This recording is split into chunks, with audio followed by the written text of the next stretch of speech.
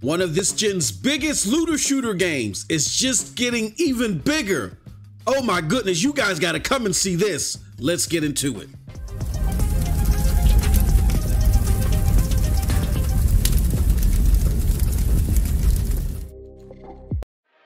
What's up, people? What's up, people? What's up, people? It's your boy MM2K back again with another video. Do me a huge favor, hit that like button, hit that subscribe button, rock those bells for notifications, please, so you know when your boy's dropping these doses. I appreciate all of y'all straight up. Y'all know the deal, y'all know the reason, and y'all know the slogan. I am not too proud to ask. Let's get into it. All right, man. No further ado. Y'all know how I feel about looter shooters. You know what I'm saying? I'm I'm I'm okay with them, but I have to be honest that the game setup of the looter shooter, the base of it, has not been as successful as we hoped it would be. I mean, yes, Destiny 1 that kind of like started kicking this off as far as the looter shooter being a trend. Destiny 1 ultimately became a good game, but it didn't start off well. And then we start seeing this trend after trend after trend with each looter shooter game that comes out. You know what I'm saying? Um, Borderlands is one that I think is has has fared well, and it's more of a looter shooter now with three than it ever has been.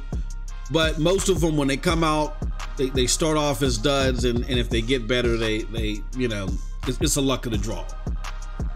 I'm going to tell you one game that I feel at the beginning was great. It may have had a little bit of a lull for for some time during the middle, but it's blowing it out the water and it's doing things that no looter shooter, no, no multi-massive player game, as far as I'm concerned, with this type of action in it, can't even hang. They, they, they can't even touch it with a stick. that's Division 2. Division 2 has now adopted the Seasons moniker, which I think was the greatest thing to come to the platform. I mean, it, it just makes it playable like every day, every waking moment. You know, and, and I might give it a break or two when new games come out and I want to try them. You know, like Last of Us 2 is out right now. Y'all, y'all know I'm trying that. But it's it's old faithful and it's always fresh, new, and dynamic. It doesn't feel stale or static like the rest of these games. And you can't just run through this content. I mean, there's just too much stuff to do. And now they have went into season two of the division. They got some crazy things going. And then as you can see on the screen, there is now going to be a new eight player raid. And I'm telling you, that first raid is a doozy.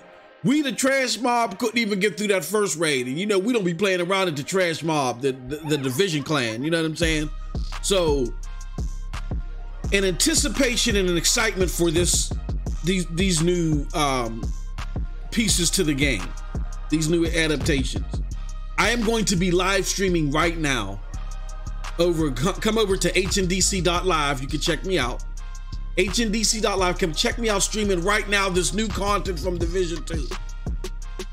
I assure you, you will not be disappointed. this is this is going to be crazy, y'all. Going to be crazy. Again, season two is amongst us already.